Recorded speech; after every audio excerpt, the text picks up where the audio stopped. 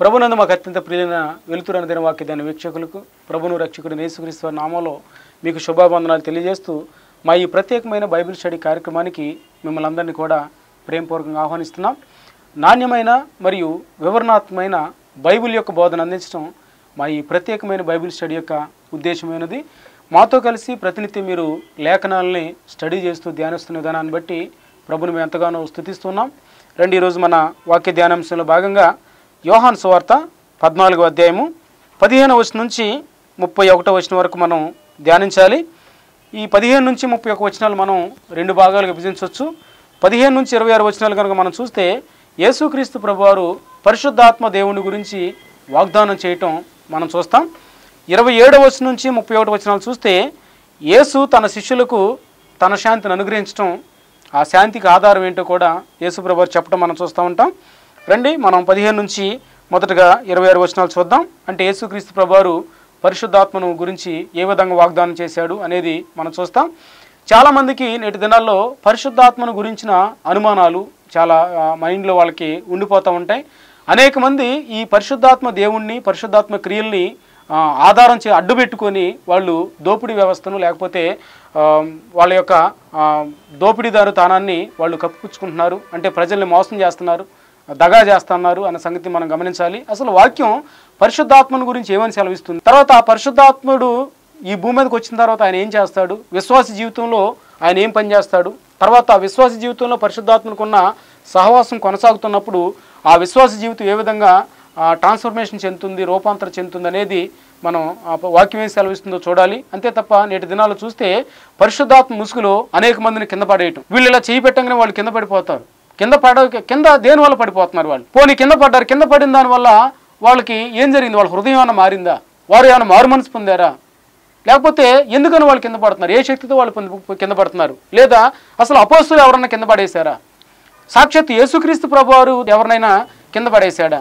ఎందుకని వాళ్ళు కింద పడుతున్నారు? ఇవన్నీ మనం చూడాలి. అంటే ఈనాటి దినాల్లో కింద పడేసిన వాళ్ళు ఏం చేస్తున్నారంటే యేసుక్రీస్తు ప్రభువారి కంటే వాళ్ళు ఏమైనా గొప్పోళ్ళు అంటే గొప్పోళ్ళు కాదు. పోనీ అపోస్తులు పౌలు యోహాను పేతుల కంటే వాళ్ళు ఏమైనా గొప్పోళ్ళు అంటే గొప్పోళ్ళు కాదు. మరి దేనివల్ల ఈ ఇరవయో శతాబ్దంలోనే ఈ కింద పడేయటాలు అనేవి ఎక్కువగా మనకి కనిపిస్తూ ఉన్నాయి. ఏ శక్తితో వాళ్ళు కింద పడేస్తున్నారు? అసలు పరిశుద్ధాత్మ దేవుడు వస్తే ఒక వ్యక్తి ఏ విధంగా తన జీవితం మారుతుంది అనేది దేవుడు పరిశుద్ధాత్మ దేవుని గురించి యోహాన్ సువార్త పద్నాలుగు అధ్యాయం యోహాన్ సువార్త పదిహేను అధ్యాయం మరియు యోహాన్ సువార్త పదహారు అధ్యాయులు. అంటే పద్నాలుగు పదిహేను పదహారు అధ్యాయులు కనుక మనం చూస్తే సాక్షాత్తు యేసుక్రీస్తు ప్రభువారే పరిశుద్ధాత్మ దేవుని గురించి కొన్ని ప్రాథమిక విషయాలు సత్యాలు అక్కడ మనకి రాయించి పెట్టాడు ఆయన మాట్లాడాడు. వాటిని మనం ఆధారం చేసుకోవాలి. తర్వాత అపోస్తులు ఆ పెంతుకోస్తు దినాన్న ఏ విధంగా పరిశుద్ధాత్మను పొందుకున్నారు తర్వాత పరిశుద్ధాత్మ క్రియలు ఏ విధంగా బయలు వెళ్ళాయి అనేది మనం వీటి వెలుగులోనే మనం వాటిని అర్థం చేసుకునే అవకాశం ఉంది. కాబట్టి ఈరోజు మనం పరిశుద్ధాత్మను గురించిన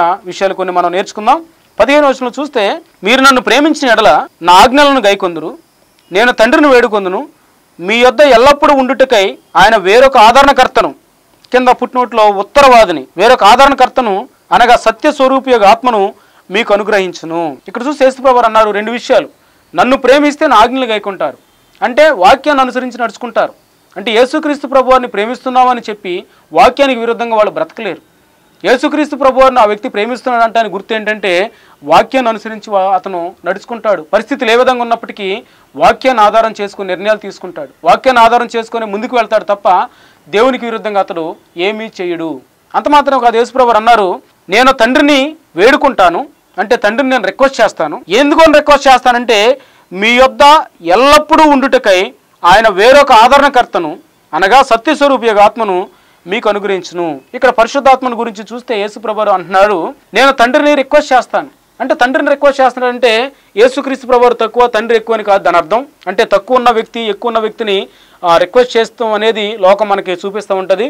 యేసు ప్రభువారు దైవత్వ విషయంలో సమానంగా ఉన్నాడు. కానీ ఆయన మనందరి స్థానంలో శిక్ష భరించడానికి ఈ భూమి మీదకి ఒక మానవ రూపాన్ని ధరించుకొని వచ్చాడు కాబట్టి ఈ మానవ రూపాన్ని ధరించుకున్న దాన్ని బట్టి ఆయన తండ్రితో తన యొక్క సమానత్వం గురించి మాట్లాడక నేను తండ్రి నేను వేడుకుంటాను అంటున్నాడు. ఏమని వేడుకుంటాడంట? మీ యొద్ద ఎల్లప్పుడూ ఉండుటకై వేరొక ఆదరణకర్త. అంటే పరిశుద్ధాత్ముడికి ఉన్న మరొక పేరు ఏంటంటే ఆదరణకర్త. కింద పుట్టినట్లు చూస్తే ఉత్తరవాది. అంటే పరిశుద్ధాత్మ అన్న ఆదరణకర్త అన్న ఉత్తరవాదన్న ఒకటే. మరి ఒకసారి అక్కడ అన్నాడు అనగా సత్య స్వరూపియగు ఆత్మ మీకు అనుగ్రహిస్తాడు. సత్య స్వరూపియగు ఆత్మ. అంటే పరిశుద్ధాత్ముడు సత్య స్వరూపి ఆత్మ అన్న ఒకటే.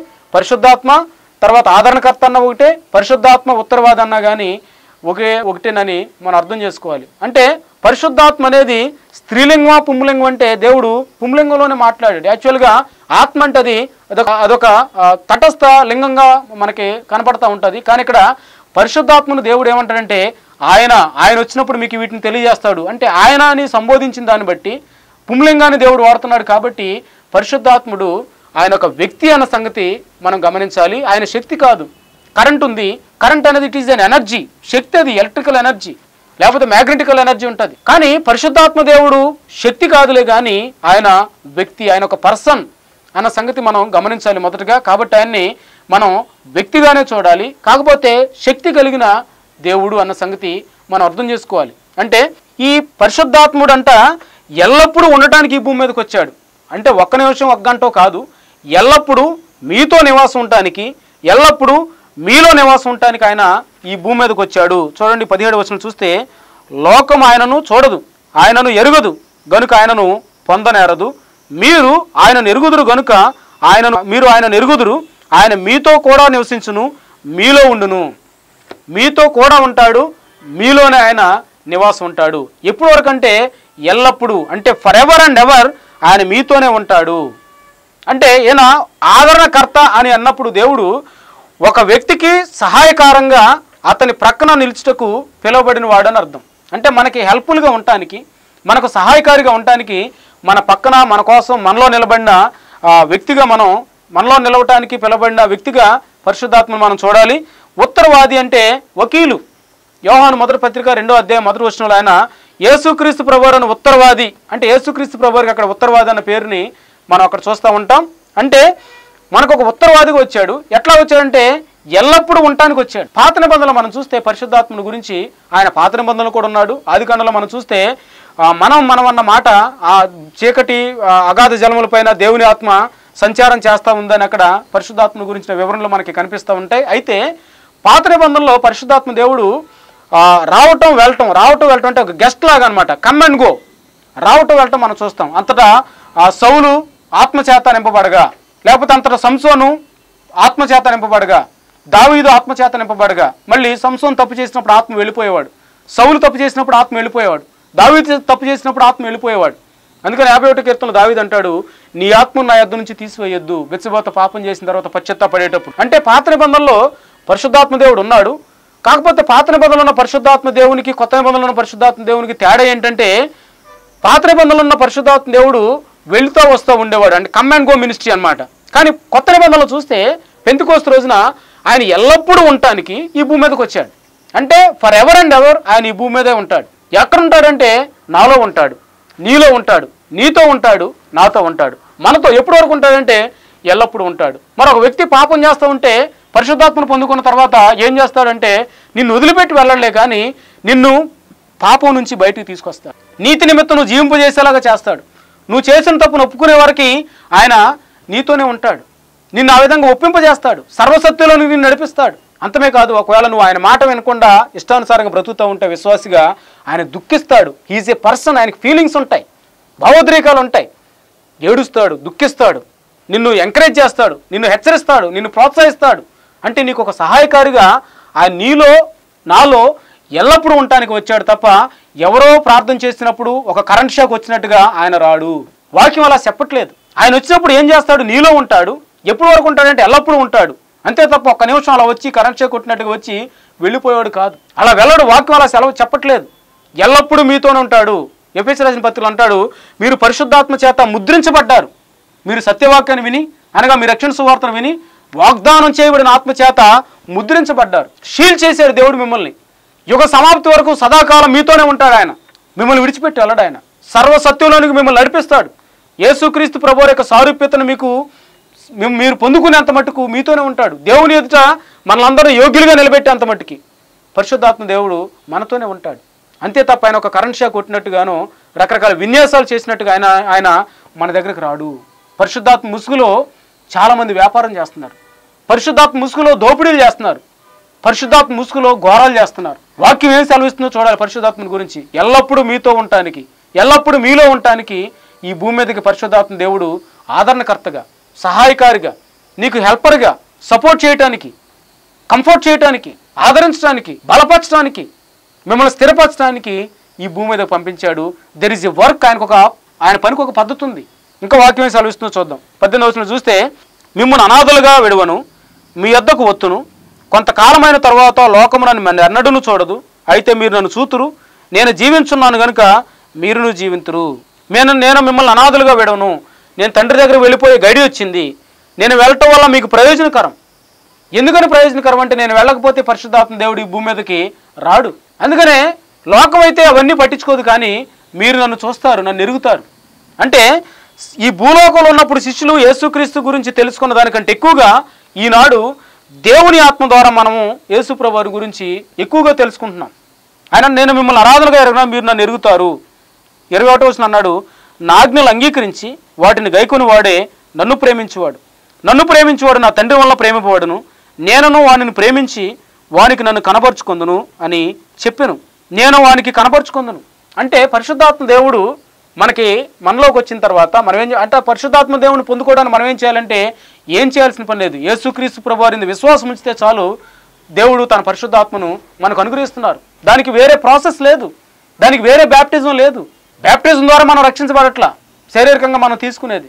రక్షించబడి సాక్ష్యార్థంగా ప్రభువుకి మనల్ని మనం వెలుపటగా సాక్ష్యంగా ఉండటం కోసం లోకానికి మన విశ్వాసాలను తెలియటం కోసం మన విశ్వాసాన్ని బయలుపరచుకోవడానికి బాప్తిజం అనే క్రియను మనం చేస్తున్నాం. బట్ దానికంటే ముందే దేవుడు మనం రక్షించుకున్నాడు. ఆయన ఎందుకు విశ్వాసం ఇచ్చినప్పుడు ఎప్పుడైతే క్రీస్తునందు మనం విశ్వాసం ఉంచామో వాగ్దానం చేయబడిన ఆత్మచేత మనం ముద్రించబడ్డాం. అంటే నేను విశ్వాసిగా మార్చబడక ముందు పాపాలు ఒప్పుకోక ముందే పరిశుద్ధాత్మ దేవుడు నాలో నీలో పశ్చాత్తాపాన్ని కలుగజేశాడు. అంటే నేను అన్బిలీవర్గా ఉన్నప్పుడే అవిశ్వాసగా ఉన్నప్పుడే నన్ను పాపాల నిమిత్తం ఒప్పింపజేశాడు. పశ్చాత్తాపాన్ని నాలో కలిగించాడు నీలో కలిగించాడు. అప్పటి వరకు బయట ఉండి ప- పనిచేసిన పరిశుద్ధాత్మ దేవుడు ఎప్పుడైతే క్రీస్తు నేను అంగీకరించానో మనందరి హృదయాల్లోకి వచ్చి నివాసం ఉన్నాడు. దానికి ఎవరో ప్రార్థన చేస్తే ఆయన రాడు. ఎప్పుడైతే నువ్వు క్రీస్తుని స్వరక్షగా అంగీకరించావో ఆయన నీలోకి వచ్చి నివాసం ఉన్నాడన్న సంగతి వాక్యం సెలవిస్తుంది. దానికి వేరే ప్రాసెస్ లేదు. దానికి వేరే పద్ధతి లేదు. దానికి ఎవరి సహాయం నీకు అవసరం లేదు. ఎప్పుడైతే క్రీస్తును నువ్వు అంగీకరించావో పరిశుద్ధాత్మ దేవుడు నీ హృదయంలోనికి వచ్చాడు. చూడండి ఎఫ్ఎస్ రాసిన పత్రికలో ఆ మాటలు మనకి కనిపిస్తూ ఉంటాయి. చూడండి మొదటి అధ్యాయంలో కనుక చూస్తే మొదటి అధ్యాయం ఎఫ్ఎస్ రాసిన పత్రిక మొదటి అధ్యాయం పదమూడు వచ్చిన చూస్తే మీరును సత్యవాక్యమును అనగా మీ రక్షణ సువార్తను విని క్రీస్తునందు విశ్వాసం ఉంచి వాగ్దానం చేయబడిన ఆత్మచేత ముద్రించబడితిరి. దాని తర్వాత కంటిన్యూషన్ ఉంది. దేవుని మహిమకు కీర్తి కలుగుటకై ఆయన సంపాదించుకున్న ప్రజలకు విమోచన కలిగిన నిమిత్తము ఈ ఆత్మ మన స్వాస్థ్యమునకు సంచికరువుగా ఉన్నాడు. అంటే పరిశుద్ధాత్మ నువ్వు ఎప్పుడు పొందుకున్నావంట? సత్యవాక్యాన్ని విన్నావు? క్రీస్తునందు విశ్వాసం ఉంచావు. ఎప్పుడైతే గాస్పల్ నీకు అర్థమైందో దేవుడు నీకు అర్థమయ్యేలాగా చేశాడో క్రీస్తునందు విశ్వాసం ఉంచావో క్రీస్తులో విశ్వాసం ఉంచిన ఆ క్షణంలోనే పరిశుద్ధాత్మ చేత నువ్వు ముద్రించబడ్డావు. సంచి కరువు అంటే అడ్వాన్స్గా ఆయన నీలోకి వచ్చేసాడు. దీనికి ఇంకా వేరే ప్రాసెస్ లేదు. దీనికి వేరే ఇంకా నాలుగైదు రోజులు ఉపాసం ఉపవాసం ఉండాల్సిన పని లేదు. క్రీస్తునందు విశ్వాసం ఉంచినప్పుడు సత్యవాక్యాన్ని విన్నప్పుడు ఆ క్షణంలోనే నీ దేవుడు నిన్ను తన పరిశుద్ధాత్మ నీకు అనుగ్రహించాడు. నీలోకి వచ్చాడు. నువ్వు చనిపోయేంత మట్టుకు నీలోనే ఉంటాడు. ఒకవేళ ఆయనకి ఇష్టం లేని పనులు నువ్వు చేస్తూ ఉంటే దుఃఖపడతాడు. మళ్ళా నిన్ను సెట్ చేస్తాడు. నువ్వు చేసే తప్పని నీకు ఒప్పింపజేస్తాడు. నీకు అర్థమయ్యేలాగా చేస్తూ ఉంటాడు. నీలో ఉండి తన పని చేస్తూ ఉంటాడు. నీకు ఎలా ప్రార్థన చేయాలో తెలియదు రామభక్తుల దేవుడు అన్నాడు ఏలయనగా మనకు ఇష్టంగా ఎలాగ ప్రార్థన చేయాలో తెలియదు కానీ ఉచ్చరింప సిక్కంగాని మూలుగులతో ఆత్మ తానే మన పక్షంగా విజ్ఞాపనలు చేస్తాడు. అంటే నీలో ఉండి నీకు అర్థం కాని భాషలో నీకోసం తండ్రికి విజ్ఞాపన చేస్తాడు. అంటే ఆయన నీకోసం పనిచేస్తున్నాడు twenty four by seven round the clock నీకోసం ఆయన పనిచేస్తున్నాడు దీన్ని వదిలిపెట్టి కింద పట్టాలు లేకపోతే రకరకాలు ఏదో కరెంట్ షాక్ కొట్టినట్లుగా గెంతులు వేయటం అరవటం చేయటం పరిశుద్ధాత్మ కార్యాలు కావవి. ఆ యొక్క దురాత్మ కార్యాలు. ఆ యొక్క వ్యాపార ముసుగులో చేసే అటువంటి భయంకరమైన ఆకృత్యాలు పరిశుద్ధాత్మ చేత నింపబడిన వ్యక్తి ఎలా ఉంటాడంటే సర్వసత్యంలో నిలబడతాడు. క్రీస్తుని మహింపరుస్తాడు. రోషం కలిగి భూమి మీద ప్రభు కోసం బ్రతుకుతాడు హింసలైనా కానీ అపోస్తుల కంటే గొప్పోళ్ళ ఎగురుకుంటే గంతులేసేవాళ్ళు. యేసు ప్రభు కంటే గొప్పోళ్ళ ఆత్మను వాళ్ళు ఎవరెవరికో అనుగ్రహిస్తా ఉన్నారు. ఖర్చీపులోకి పంపించేది కొంతమంది కుర్చీలోకి పంపించేది కొంతమంది మరే దాంట్లోకి మరే దాంట్లోకి పంపించేది కొంతమంది. ఎవరు స్వాధీనంలో పరిశుద్ధాత్మ దేవుడు ఉన్నాడు? ఆయన ఎవరు? దేవుడు. నిన్ను సృష్టించిన నీ సృష్టికర్త ఆయన. నీ స్వాధీనంలో ఎలా ఉంటాడు ఆయన? ఆయన స్వాధీనంలో నువ్వు ఉండాలా? నీ స్వాధీనంలో ఆయన ఉంటాడా? ఎవరు ఎక్కువ ఏం చేస్తున్నాం మనం? మినిమం కామన్ సెన్స్ కూడా లేకుండా. వాక్యం ఏం సెలవిస్తుంది? వాక్యమే సెలవిస్తుంది పరిశుద్ధాత్మ దేవుని గురించి? ఆయన ఆదరణకర్త నిన్ను ఆదరిస్తాడు. సత్యస్వరూపి నిన్ను సర్వసత్యంలోనికి నడిపిస్తాడు. సత్యం నీలో ఏర్పడేంత మట్టికి? యేసుక్రీస్తు ప్రభువారు సత్యమై ఉన్నాడు. అంటే నిన్ను యేసుక్రీస్తు ప్రభువారిలో స్థిరపరచడానికి ఆయన నీ పక్షంగా పనిచేస్తూ ఉంటాడు. నీ బలహీనతలను చూసి నీకు సహాయం చేస్తాడు. తన చెయ్యినిచ్చి నిన్ను లేపు నిలబెడతాడు. ఎక్కడైతే పడిపోతున్నావు అక్కడ. ప్రోత్సహిస్తాడు. సహవాసం ఒక వ్యక్తితో చేస్తున్న సహవాసం అది అని మనం జ్ఞాపకం చేసుకోవాలి. కొంచెం మనం ముందుకు వెళ్దాం. ఇరవై ఒకటో వచనం చూస్తే ఇరవై రెండో వచనంలో ఇస్కర్యోతు కాని యోధ ప్రభువా నీవు లోకమునకు కాక మాకు మాత్రమే నిన్ను నీవు కనపరుచుకున్ననేమి కొనుట నీకేం సంభవించిన అడుగుగా యేసు ఒకడు నన్ను ప్రేమించినడలా వాడు నా మాట గాయకొను అప్పుడు నా తండ్రి వాణ్ణి ప్రేమించును. మేము వాని యొద్దకు వచ్చి వాని యొద్ద నివాసం చేతుము. ఇక్కడ దేవుడు మరోసారి అంటున్నాడు. ఇస్కర్యోతు కాని యోధ ఒక ప్రశ్న అడిగాడు. అయ్యా లోకం నాకు కాకుండా మాకు మాత్రమే నిన్ను నువ్వు కనపరుచుకుంటున్నావేంటి దీనికి కారణం ఏంటి? అని అడిగినప్పుడు యేసుప్రభు అన్నాడంటే మీరు నన్ను ప్రేమిస్తున్నారు. కలిగిన వానికే ఈబడుతుంది. నా గురించి ఎక్కువ తెలుసుకోవాలని ఆశ కలిగిన వాళ్ళకే దేవుడు ఆయన గురించి ఆయన ఎక్కువ బయలుపరుచుకుంటున్నాడు. ఆయన గురించి తెలుసుకోవడానికి ఆశ లేకపోతే ఆయన కూడా బయలుపరుచుకోడు. ఉన్న మిడిమిడి జ్ఞానాన్ని కూడా లాగేసుకుంటాడు.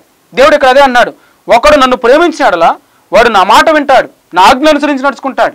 నాకు ఇష్టకరమైన పనులు చేస్తాడు నాకు ఇష్టకరమైనవి అడుగుతాడు నాకు ఇష్టకరమైనవి చేస్తాడు. అయితే ఎప్పుడైతే నా మాటలు గైకుంటున్నాడో అప్పుడు నా తండ్రి వానిని ప్రేమించును మేము వాని యొద్దకు వచ్చి వాని యొద్ద నివాసం చేస్తాం. మేము అంటే ఇక్కడ దేవుడు త్రిత్వం గురించి మాట్లాడుతున్నాడు. అంతకుముందు పరిశుద్ధాత్మ గురించి మాట్లాడాడు తండ్రి గురించి మాట్లాడుతున్నాడు కుమారుడు యేసుక్రీస్తు ప్రభు గురించి మాట్లాడుతున్నాడు. అంటే త్రిత్వంలో ముగ్గురు వ్యక్తులు ఉన్నట్టుగా మనకు అర్థమవుతుంది. ముగ్గురు ఒకటని కాదు అక్కడ. వ్యక్తిత్వాల పరంగా విభిన్నంగా కనబడుతున్నారు మనకి. తండ్రి చేసే పనులు వేరు. వ్యక్తులుగా కుమారుడు చేసే పనులు వేరు. పరిశుద్ధాత్ముడు చేసే పనులు వేరు. బట్ దైవత్వ విషయంలో ఏకత్వం కలిగి ఉన్నారు. దైవత్వ విషయంలో ఒకటే. త్రియేక దేవుడు తండ్రి అనే దేవుడు కుమారుడు అనే దేవుడు పరిశుద్ధాత్మ దేవుడు. దైవత్వ విషయంలో ముగ్గురు సమానమే. ఈ ముగ్గురులో దైవత్వాలు ఎవరు ఎక్కువ అంటే తండ్రి ఎక్కువ అని అనుకోకూడదు. తండ్రి తర్వాత కుమారుడు కుమారుడు తర్వాత కొంచెం తక్కువ పరిశుద్ధాత్మ దేవుడు అని అనుకోకూడదు. దైవత్వ విషయంలో తండ్రితో సమానంగా కుమారుడు ఉన్నాడు. దైవత్వ విషయంలో కుమారుడితో సమానంగా పరిశుద్ధాత్మ దేవుడు కూడా ఉన్నాడు. ఫంక్షనింగ్ విషయంలో వ్యక్తిత్వంగా అంటే వాళ్ళు పనిచేసే పనులు వేరువేరుగా మనకు కనిపిస్తూ ఉంటాయి. మేము వచ్చి వాళ్ళతో నివాసం చేస్తాం. ఎవరితో? ఎవరైతే క్రీస్తు వాక్యాన్ని విని ఆయన ప్రేమించి వాక్యాన్ని అనుసరించి నడుచుకుంటున్నారో వారితోనంట త్రియేక దేవుడు నివాసం చేస్తున్నాడు. త్రియేక దేవుడు వారితో సహవాసం చేస్తున్నాడు. వారిలో ఉంటున్నాడు. ఎంత గొప్ప ధన్యత చూడండి. వీటన్నిటిని విడిచిపెట్టి ఆత్మను ఏదో మనం గిమ్మిక్లాగా చేసుకుంటూ గారడి విద్యలాగా ప్రదర్శిస్తూ ఉంటే ఎక్కడుంది బైబిల్లో? ఎవరు చేశారు అలాగా? పెంతుకోస్తు రోజున వచ్చినప్పుడు వాళ్ళు అలా చేశారంటే వాళ్ళు అలా చేయలే. పెంతుకో రోజు పెంతుకోస్తు రోజున పరిశుద్ధాత్మ ఈ భూమి మీదకి దిగిన రోజు అగ్నిజ్వాలల వంటి నాలుకలుగా విభజించబడి ఒక వ్యక్తిని తాగుతున్నప్పుడు వాళ్ళు ఎగురుకుంటా గంతులేలా ఎగురుకుంటా గంతులేయటం అనేది వాక్యానికి విరుద్ధం అది.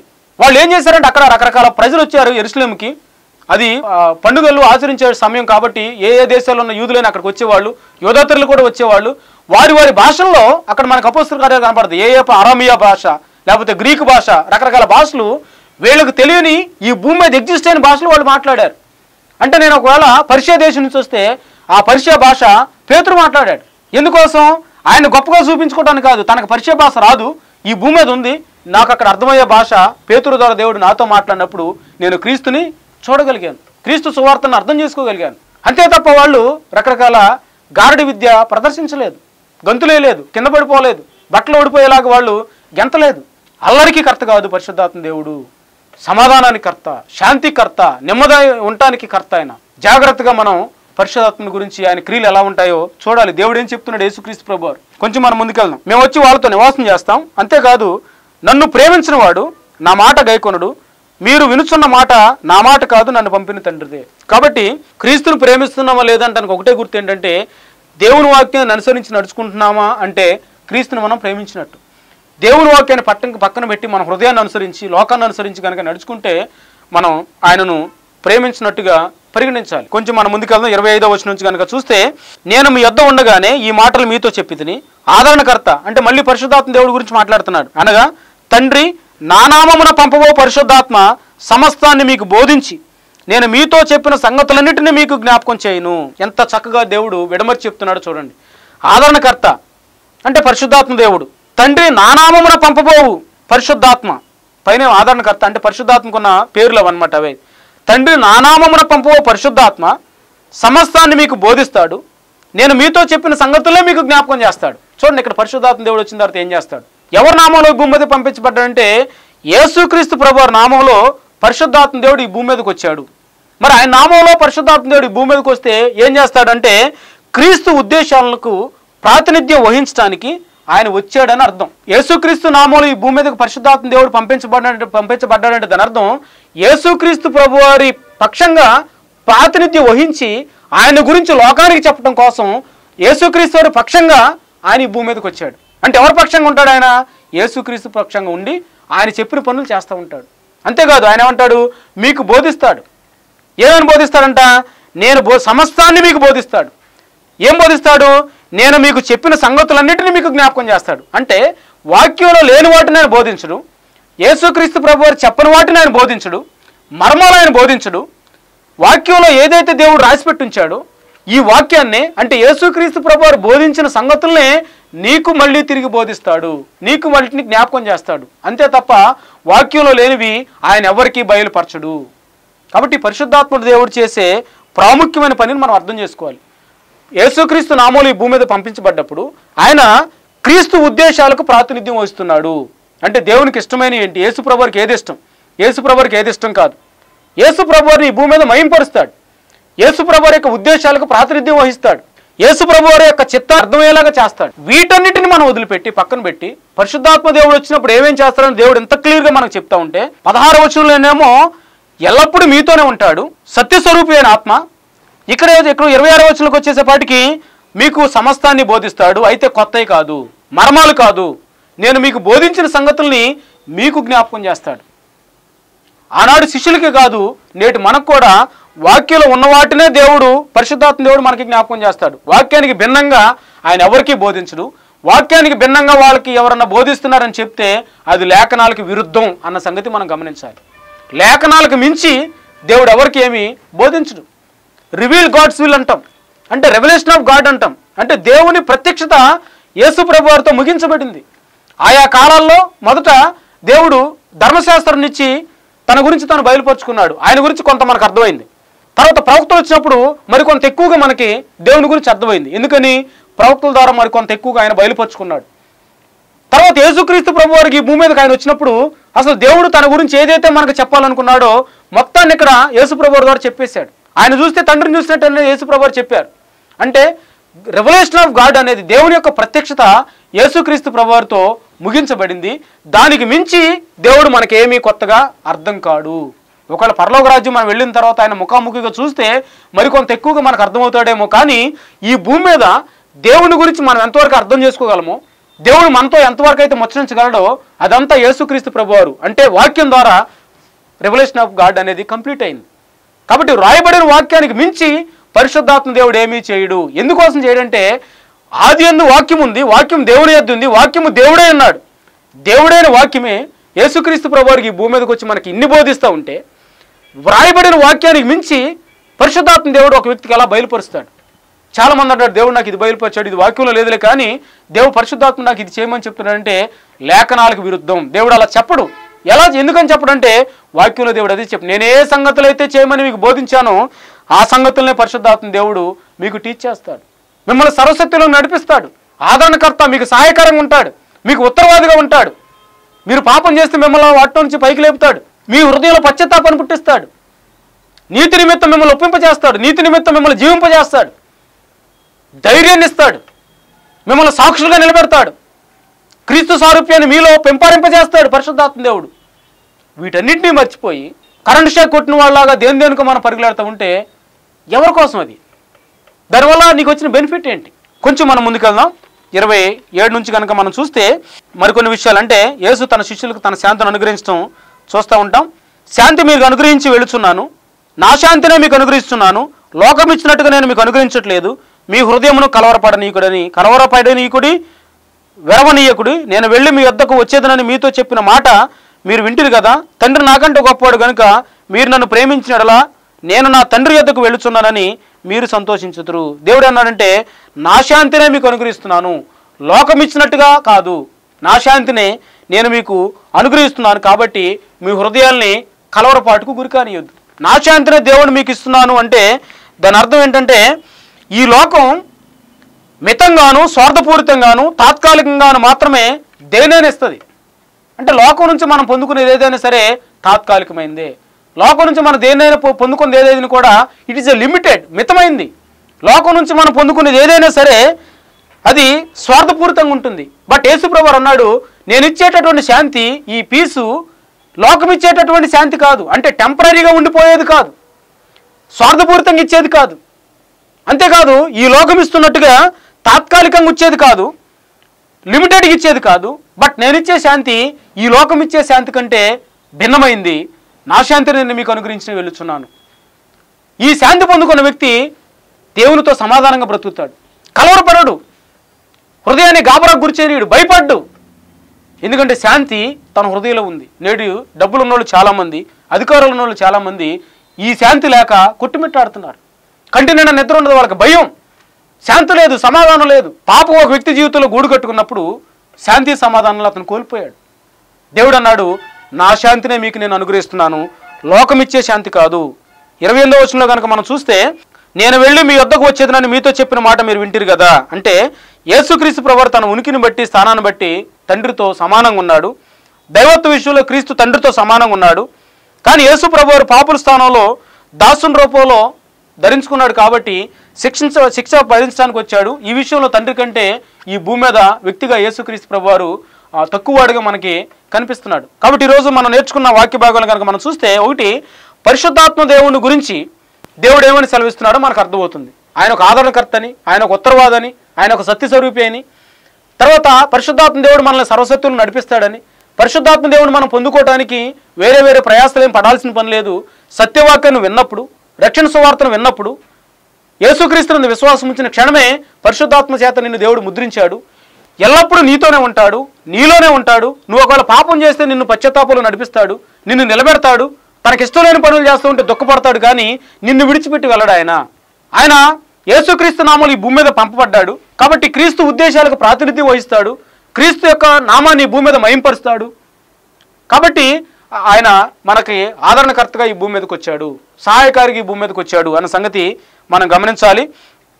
ఆయన ప్రేమించే వాళ్ళు తన శా తన ఆజ్ఞలను అనుసరించి నడుచుకుంటారని తర్వాత యేసు ప్రభు ఇచ్చే శాంతి లోకానికి భిన్నమైంది అది శాశ్వతమైంది. అది దానివల్ల మనకి కలవరపాటు భయాలు రాకూడదు.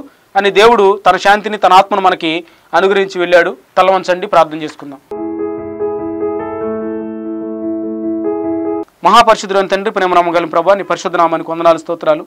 ఈరోజు చాలామంది నాయన పరిశుద్ధాత్మ దేవుని యొక్క ముసుగులో ఎంతో దుర్బోధలు ప్రభా అనేక మందిని మబ్బి పెడతా ఉన్నారు. వాక్యంలో లేని భిన్నమైన పద్ధతులు వాక్యంలో లేని భిన్నమైన ఆ యొక్క విషయాలు ఆ యొక్క నాయన పనులన్నీ కూడా చేస్తూ ఉన్నారు. వాటిని వాక్య విరుద్ధమని మా- మా ప్రియ వీక్షకులందరూ గ్రహించడానికి పరిశుద్ధాత్మని గురించి మీరేం చెప్పారు నాయన? పరిశుద్ధాత్మ ఒక వ్యక్తిలో ఎల్లప్పుడూ ఉంటాడని మాలో మాతో నివాసం చేస్తాడని ప్రభా మీరు సెలవిచ్చారు. అంత మాత్రమే కాదు లోకం ఇచ్చినట్టుగా కాకుండా మీరు మాకు నాయన శాశ్వతంగా ఉండే నీ శాంతిని మీరు మాకు అనుగ్రహించి వెళ్ళారు ప్రభా. మీరు ఇచ్చిన శాంతిని బట్టి సమాధానాన్ని బట్టి మీరు మాకు ఇచ్చిన పరిశుద్ధాత్మ దేవుని బట్టి నీకు వందనాలు చెల్లిస్తూ మేమందరం కూడా సరస్వతిలో నడవటానికి మీరు సహాయం చేయమని యేసుక్రీస్తు నామాలు ప్రార్థిస్తున్నాం తండ్రి. ఆమెన్. God bless you.